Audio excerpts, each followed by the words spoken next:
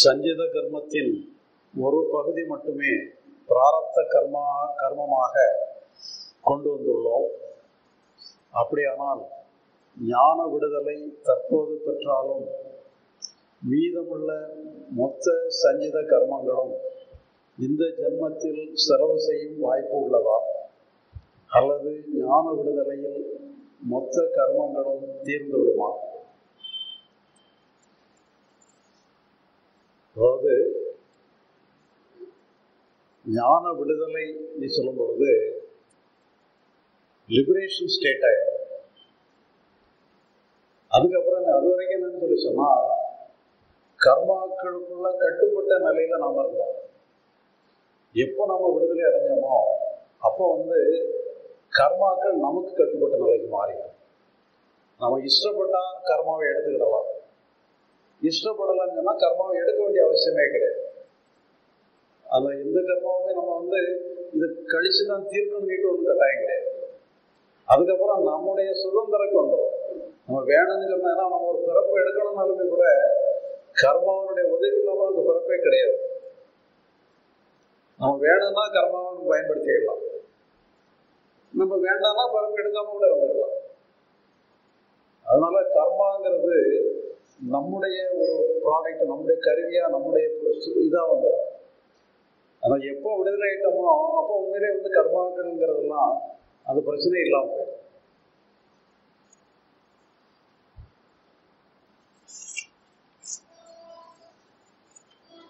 மாமிசம் சாப்பிடுவது கெட்ட வினை பயனை ஏற்படுத்துமா? நல்லது செய்வதனால் ஏற்படும் நல்வினையை பயன் ஆற்றலுக்கு வருவதற்கு எவ்வளவு நாளாகும்?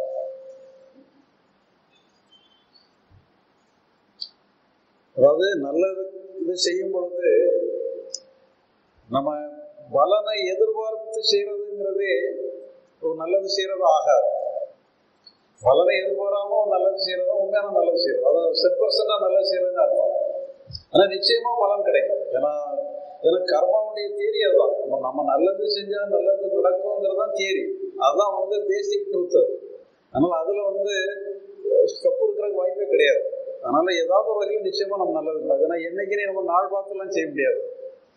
அதனால் என்ன சொல்லிச்சோன்னா நம்முடைய கடமைங்கிறது வந்து நல்லதும் செய்கிறது தான் நமக்கு நம்ம செய்ய வேண்டிய ஒரு ஒரு அணுகுமுறை. இந்த மாமிசம் சாப்பிட்றதுங்கிறது வந்து இப்போ நல்ல கர்மாக்கள் அது ஒன்று மாமிசம் சாப்பிடாம இருக்கிறதுங்கிறது ஒரு நல்ல கர்மாக்கள்ட்டு எடுத்துக்கலாம். ஏன்னா இன்னொரு உயிருக்கு நம்ம தீங்கு விளைவிக்காமல் இருக்கிறதுங்கிறத ஒரு நல்ல கர்மாவை எடுத்துக்கலாம். பட் இருக்குன்னு சொல்லி சொன்னால் இது வந்து நம்ம வந்து எல்லா இதுக்குமே அதைத்தான் வந்து ஒரு ஒரு முக்கியமான கண்டிஷன் சொல்லி நம்ம விதிக்க முடியாது.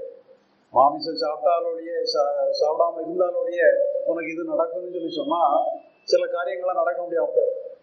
அதனால சொல்லி சொன்னால் முடிஞ்ச அளவு நம்ம அதை நமக்கு அது வாய்ப்பு இருந்ததுன்னா பயன்படுத்தலாம். வாய்ப்பு இருந்துன்னு சொன்னால் நம்ம வந்து மாம்சம் சாப்பிடாம இருக்கிறது நல்லது.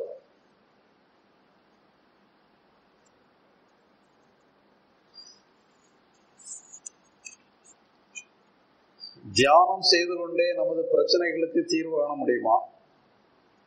அப்படி தியானம் செய்யுங்கள் என்று சொன்னால் தங்களுக்கு தெரிந்த நல்ல தியான முறைகளை சொல்லவும்.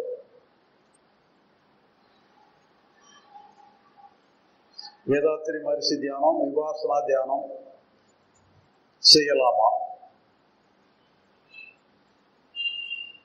அதாவது தியானம்ங்கிறதுலாம் வந்து ஒரு நல் வினைகள் அது ஒன்றுன்னு வச்சுக்கலாம். ஒரு நம்முடைய மனதை வந்து ஒரு நல்ல முறையில் வடிவமைச்சு ஒரு நல்ல காரியங்களுக்கு நம்ம பயனுடையதாக நம்முடைய மனசை மாற்றி அமைக்கக்கூடிய ஒரு ப்ராசஸ் அதனால் தியானங்களை வந்து முறைப்படி நம்ம செய்யலாம்.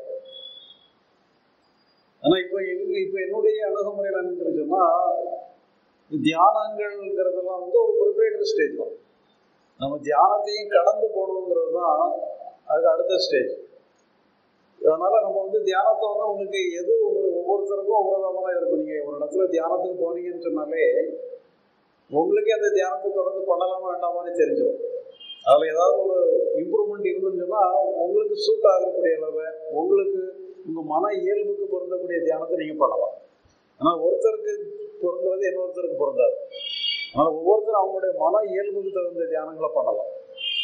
ஆனா அது வந்து தியானத்தை ரொம்ப கடுமையா பண்ணணுங்கிற அவசியம் இல்லை. கொஞ்சம் மென்மையான தியானங்களை மட்டும் பண்ணாலே போதும்.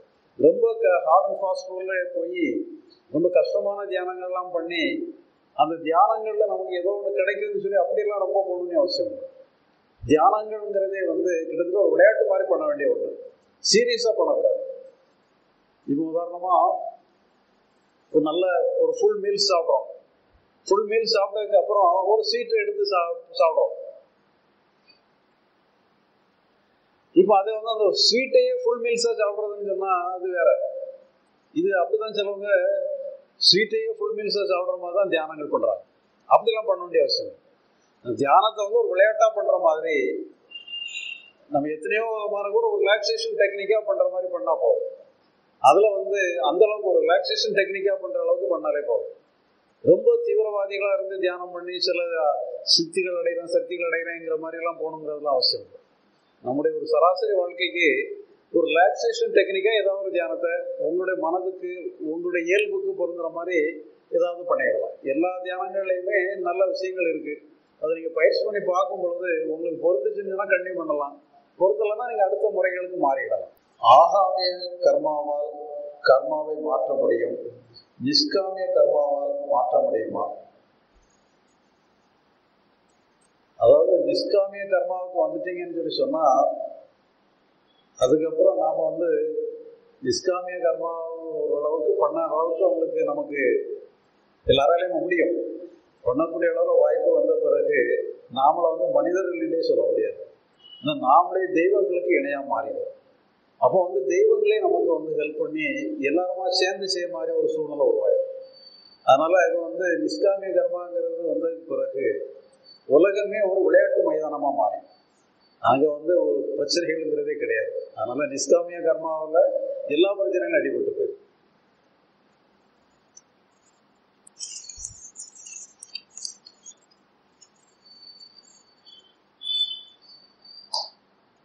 தீர்க்க முடியாத வியாதிகளாக வரும் கர்ம வினைகளை எப்படி எதிர்கொள்வது? அதுவும் ஒரு குடும்பத்திற்கே வந்தால்.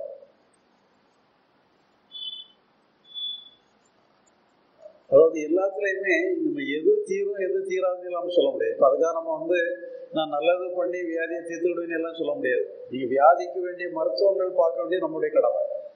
ஆனால் அதே நேரத்தில் ஒரு நல்ல வினைகள் நீங்கள் புரியறது மூலமாக ஒரு சிறிய சில சரியான மருத்துவம் கிடைக்கிறதுக்குள்ள வாய்ப்பு கூட உங்களுக்கு தேடி வரலாம். ஏன்னா சில சில நோய்களுக்கு யாரை அணுகிறதே நமக்கு தெரியாமல் இருக்கும்.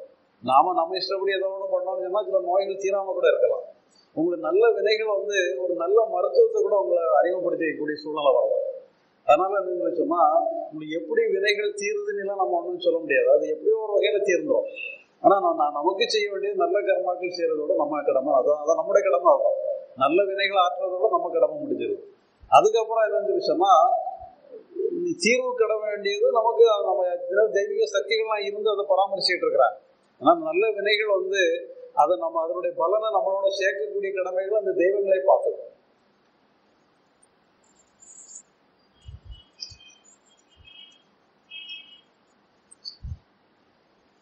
ஞான விடுதலை வகுப்பு எடுத்தால் நன்றாக இருக்கும். வகுப்பு தான் நம்ம எடுத்துட்டு இருக்கோம். ஏன்னா இது வந்து ஆர்கனைஸ்டா பண்ணல. நம்ம தனி நபரா பண்ணிட்டு இருக்கோம். பட் இருந்தாலும் படிச்சவங்க அடுத்தவங்களுடைய நண்பர்களுக்கு சொல்லிட்டே இருக்கிறாங்க. அதனால அதுவே ஏதோ ஒரு வகையில ஞான விடுதலை வகுப்பு எடுக்கிற மாதிரி தான்.